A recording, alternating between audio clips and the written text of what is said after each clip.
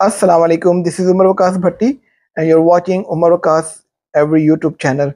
Bro, अगर आप सोचते हैं लव बर्ड के बारे में कि as compare to other birds love bird past में क्यों पॉपुलर रहा प्रेजेंट में क्यों पॉपुलर है और फ्यूचर में क्यों पॉपुलर रहेगा तो जी मेरी वीडियो आप ही के लिए है मेरी लास्ट वीडियो भी फ्यूचर ऑफ़ लव बर्ड के बारे में ही थी लेकिन उसके अंदर स्पिरिचुअल एस्पेक्ट थे लेकिन आज की वीडियो में मैं आपको कुछ साइंटिफिक एस्पेक्ट्स दूँगा और बताऊँगा कि लव बर्ड जो है वो पॉपुलर रहने के चांसेस क्यों ज़्यादा हैं। तो ब्रदर तीन पॉइंट्स हैं जो आप नोट कर लें। सबसे पहला पॉइंट ये कि वो जो बर्ड है वो कितना पॉपुलर है लोगों में। दूसरा पॉइंट के उसका जो ब्रीडिंग बिहेवियर है वो क्या है।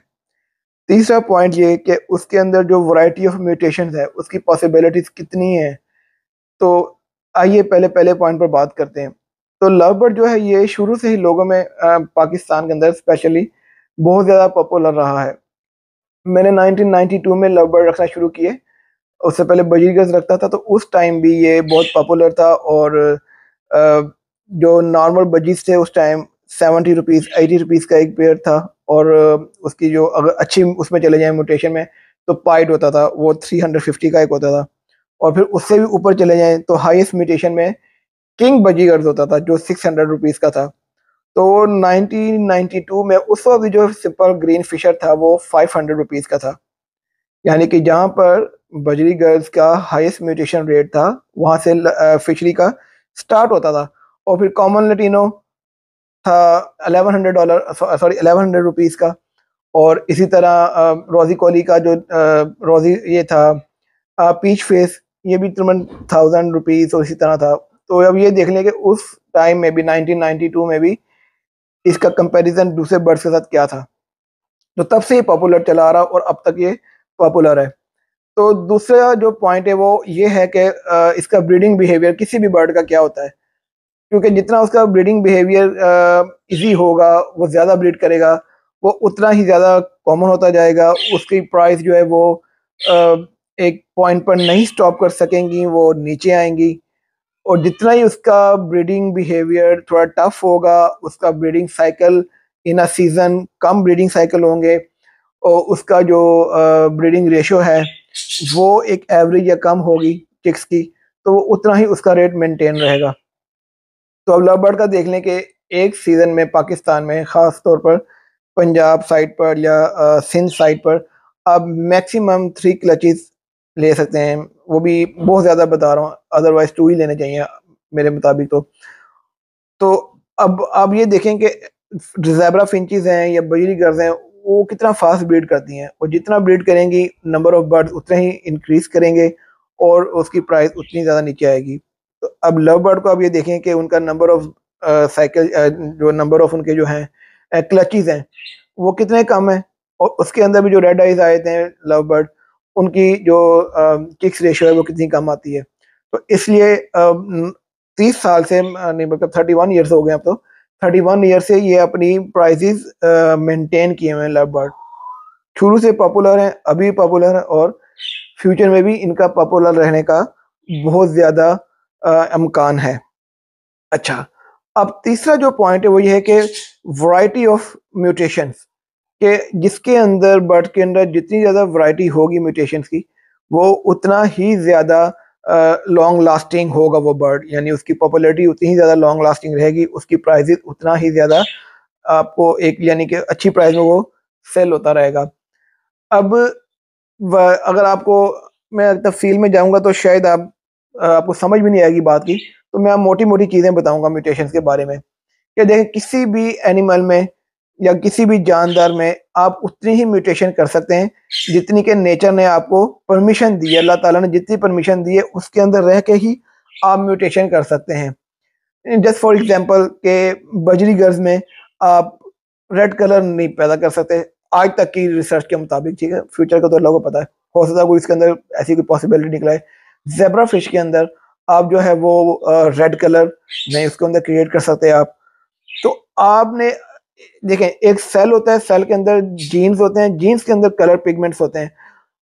उनके ऊपर डिपेंड करता है कि आप जो अल्लाह ताला ने उसके अंदर वेरिएशन दी है आपको, जितनी आपको अल्लाह ताला ने उसके अंदर आपको इजाज़त दी है, उसके अंदर रह के ही आप उसके अंदर उसको म्यूटेट कर सकते हैं, उस ब्रीड को। उसको उतना ही ज़्यादा आप उसके अंदर वैरायटी ऑफ़ म्यूटेशन आप लेकर आ सकते हैं। अब बजी गर्ल्स हैं या जेबरा फिंचज हैं कॉकटेल्स हैं देखें डिमांड उनकी भी कभी ख़त्म नहीं होगी। शौकीन, देखिए, मैं लव बर्ड का और जैबरा फिंच का शौकीन हूँ। ये मेरे पास अभी भी बजीज पड़े हुए मैंने रखे हुए हॉबी हॉबी सी चीज़ का नाम है। अच्छा डिमांड हर चीज़ की रहेगी, लेकिन आज की वीडियो इसके मुतालिक है कि डिमांड तो रहती है। क्या वो उसको रखने का आपको फ़ायदा भी होगा? आप प्रॉफिट भी प्रॉफिट में भी जा सकते हैं उस बर्ड को रख के। तो लव बर्ड के मुतालिक मैं ये कहता हूँ कि उसके अंदर अल्लाह ताला ने म्यूटेशंस की इतनी ज़्यादा वैरायटी रखी है, उसके अंदर ऑप्शन इतनी ज़्यादा है म्यूटेशंस की, आप उसके अंदर म्यूटेशन से म्यूटेशन आती जा रही हैं। देखिए, अब मैं 1992 की फिर दोबारा आपको 1992 में लेकर जाऊँगा कि उस टाइम आप देखें कि उस वक्त भी लव जो है वहाँ से जहाँ पे बजरी गर्स का टॉप म्यूटेशन प्राइस थी, तब से वहाँ उस वक्त भी ग्रीन फिशरी वहाँ से स्टार्ट होता था। और आज भी देख लें थर्टी वन ईयर्स में भी वो उसको बजरी गर्द या जेबरा फिंच और ये दूसरे जो अफोर्डेबिलिटी के अंदर जो बर्ड्स आते हैं एवरेज प्राइस के अंदर वो उसको कम्पीट नहीं कर सके। तो उसकी वजह यही है कि एक तो इसका ब्रीडिंग बिहेवियर जो है वो थोड़ा आ, थोड़ा सा आ, वो है टेक्निकल है ठीक है? और दूसरा जो है इसका जो म्यूटेशन है उसमें अल्लाह ताला ने बहुत ज़्यादा वैरायटी रखी है बहुत ज़्यादा ऑप्शन रखी हैं। अब बजरी गज में देख लें। बजरी गज में अब ऐसा नहीं कर सकता कि जिस तरह आपने ऑफलाइन उसके अंदर प्रोड्यूस किया लव बर्ड के अंदर, फिर उसके अंदर यूविंग आ गया, फिर उसके अंदर पेल फैलो आ गए, फिर ब्राउनजे फैलो फिर डन फैलो और फिर पता नहीं क्या क्या म्यूटेशन आती जा रही हैं। तो वो इसलिए आती जा रही हैं क्योंकि अल्लाह ताला ने इसके अंदर म्यूटेशन के अंदर लव बर्ड के अंदर ऑप्शन बहुत रखे म्यूटेशन की, जो किसी और बर्ड के अंदर आज की डेट तक डिस्कवर नहीं हुई। फ्यूचर में तो पता नहीं। अब मैं इसको आपको एक एग्ज़ाम्पल देता हूँ। एक रूम के अंदर, एक लॉक रूम में आप उस रूम के अंदर हैं, उसके अंदर जो है वो फोर बकेट्स पड़ी हैं पेंट की, एक के अंदर रेड कलर है, एक के अंदर येलो कलर है, एक के अंदर ग्रीन कलर है, एक के अंदर व्हाइट कलर है, ठीक है? अब लॉक रूम है उस रूम के अंदर हैं आप। आप ये एक एग्जांपल है सेल की, एक जीन की, ठीक है? आप उस रूम के अंदर, उसी जो फोर बकेट्स हैं, उसके अंदर जो फोर कलर हैं, उन्हीं के साथ खेल सकते हैं। उन्हीं के साथ आप उसको खोलकर उसकी वॉल्स को पेंट कर सकते हैं या कोई भी आप उसके अंदर पैटर्न दे सकते हैं कलर का।